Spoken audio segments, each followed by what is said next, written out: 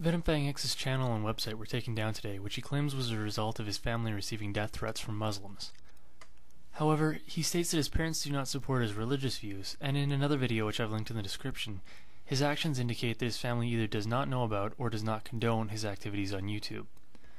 Moving out of his home wouldn't solve the problem of having death threats sent to his parents, but it would solve the problem of having his parents control what he was doing. He also apologizes for offending anyone, and a similar message is found on his website which indicates that his parents took it down. It had nothing to do with death threats, it was that his parents were dissatisfied with his actions. What appears to have happened is his parents found out that he was asking for money, and not liking what he was doing, shut him down entirely.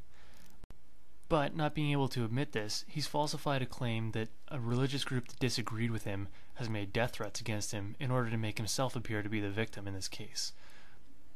This is shameless, baseless scapegoating, and I wouldn't expect any less of him. Good riddance he's gone, but we'll see how long this lasts.